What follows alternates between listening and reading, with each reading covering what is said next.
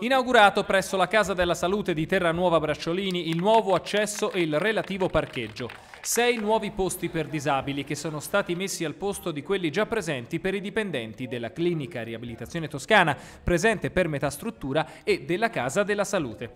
Aggiunti anche due nuovi posti per le donne in gravidanza. Un servizio che accresce la fruizione di una struttura che serve un bacino di ben 10.000 persone. Resta in attesa invece la realizzazione del parcheggio fuori dai cancelli della struttura che, di proprietà del comune terranuovese, vedrà la sua realizzazione nei prossimi mesi. Al momento c'è il passaggio per i pedoni da dentro a fuori della struttura, ma il parcheggio è provvisorio e sterrato.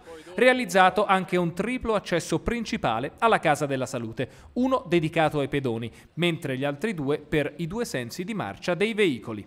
Soddisfatta la dirigenza della CRT che ha coordinato i lavori insieme all'ASL Toscana Sud-Est.